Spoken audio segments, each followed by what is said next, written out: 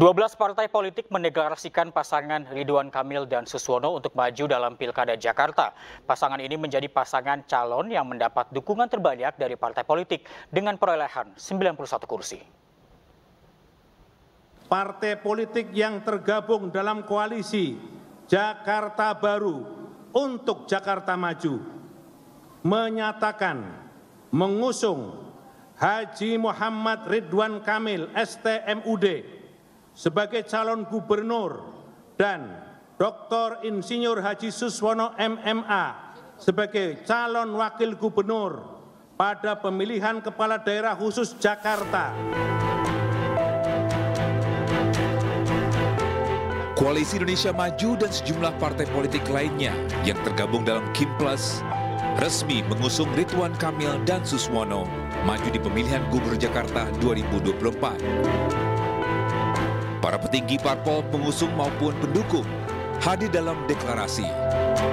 Ridwan Kamil, Siswono tidak hanya diusung oleh partai-partai yang tergabung di Koalisi Indonesia Maju, tetapi juga partai yang awalnya mengusung Anies Baswedan yaitu PKS, Nasdem, dan PKB. Kami melihat 12 partai ini Pak Muzani adalah simbol dari rekonsiliasi sudah ditunjukkan oleh orang tua kita, Bapak Jokowi, Bapak Prabowo, menunjukkan kepada seluruh warga Indonesia bahwa setelah kontestasi datanglah rekonsiliasi.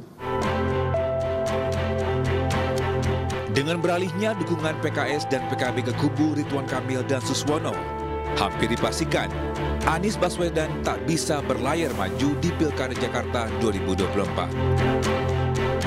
Direktur Eksekutif Indonesia Political Review Ujang Komarudin mengatakan, daerah khusus Jakarta merupakan salah satu wilayah pemilih yang besar. Koalisi Indonesia Maju akan berusaha untuk menang. Ada wilayah-wilayah strategis ya, ya wilayah strategis itu misalkan DKJ, daerah khusus Jakarta, Banten, Jawa Barat, Jawa Tengah, Jawa Timur, Sumut, Sulsel, dan wilayah lain yang pemilihnya besar itu akan dimenangkan atau uh, Kim ya kubu pemerintah berusaha untuk menang. Makanya sekarang misalkan kenapa DKJ itu uh, keriduan kami dan Viswono ya agar Anir Anis tergusur, agar Anis tidak bisa berlayar dan tentu skemanya adalah melawan kota kosong ya kota eh, mohon maaf skemanya adalah melawan kota kosong tapi kelihatannya melawan calon independen karena calon independennya kan lolos uh, verifikasi di KPU Dharma dan Kun tersebut. Selanjutnya RK Siswono akan mendaftar ke KPU Jakarta. Masa pendaftaran dibuka dari tanggal 27 hingga 29 Agustus 2024. Tim Liputan iNews melaporkan.